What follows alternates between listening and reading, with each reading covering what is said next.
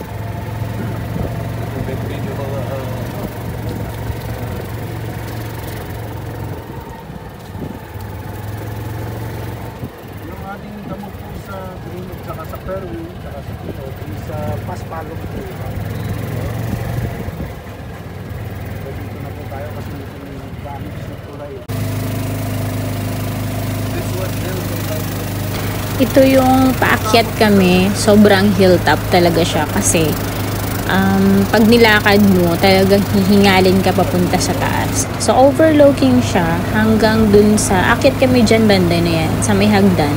So, kita mo hanggang sa baba, makikita mo yung ah, bundok sa kabila.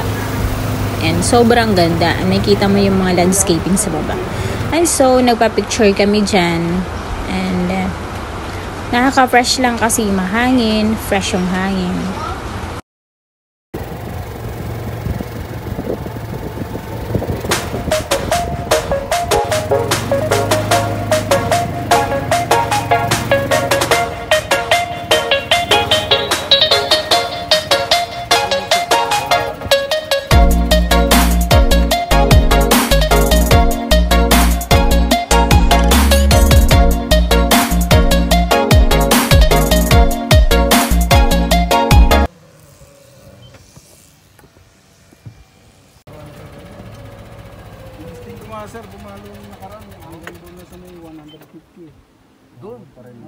Maabot. Ang layo na yun, ha?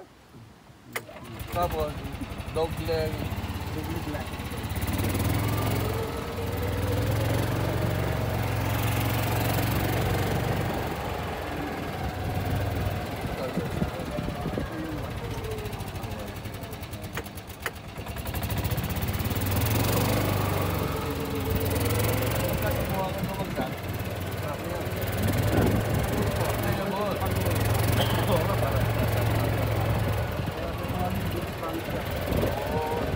Anong tawag kuya? Beach Frank. wow. May mga pangalan talaga. Eh, pag bumagsak yung bola mo sa, yan, sa, sa bola, sa buhagi, na naka-penalty. Ah, okay. Tirahan mo yun, no? Pwede mo tirahin. Naks. Yung tinawag sa beach bank, part, part siya na Part siya ng part of beach bank. Dito sa part na to, parang feeling ko papunta ako ng Leyte. Or nasa amin kami. Nasa gilid ako ng dagat. Ganun yung feeling ko.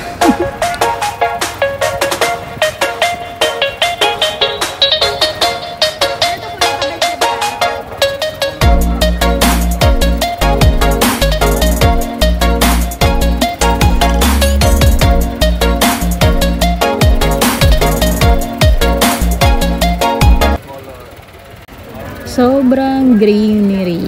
Sobrang green. Siguro pag ako nag-ikot dito, yung maglalakad ka lang, hindi mo talaga kaya kasi sobrang ang lawak.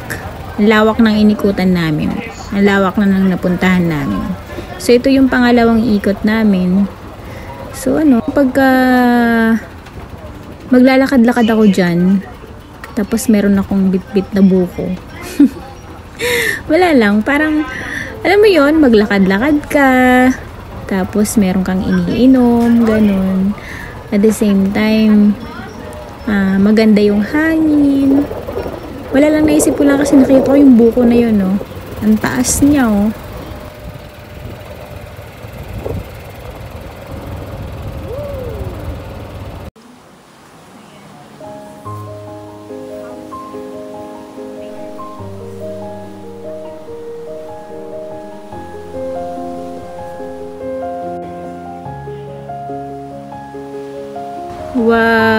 Like the view.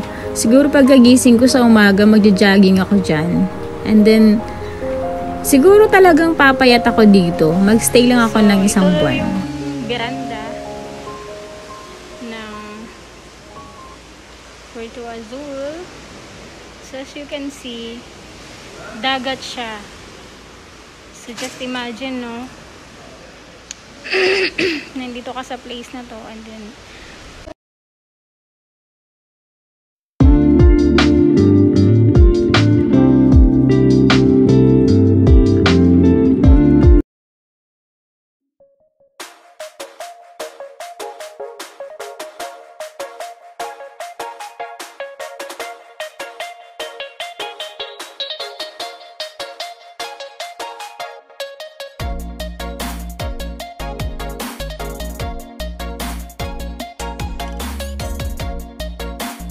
Sobrang ganda. At saka ang hangin dito ah. Nakaka-fresh. Kung gusto mo lang magtambay dito, um, ano mo yun? Gusto mo magkape. Sino may magkape dyan? Magko-coffee or may soft drinks, may masarap na food na hinahain, 'di ba? Ah, balita ko dito sa place na to, meron daw silang mga produkto na ah, na ibibigay dito sa lugar na to. Actually, i-discover ko yan mamaya dahil gusto ko rin malaman kaya, kasi I'm into food. So, gustong gusto ko rin na, alam mo yun, hindi lang nature, kundi sa pagkain din. Masasarapan ka din, di ba? At pupunta ka dito na talagang masarap yung pagkain. Malapit ka sa mga food na pwede mong kainin. Kasi, kung halimbawa, nandun ka sa lugar ng Manila, tapos, mag-travel ka dito, syempre, ah, full package na yun, di ba? full package na, may pagkain pa, maganda pa yung tanawin, mag enjoy ka pa, ganon. Siguro kung ako ay nakaupo dyan, so, so when you get inside, like this one.